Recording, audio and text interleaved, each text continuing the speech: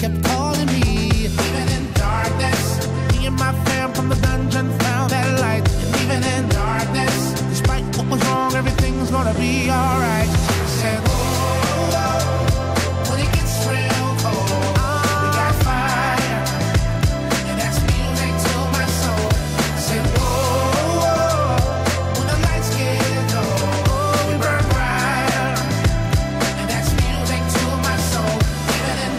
face. Don't look at me now.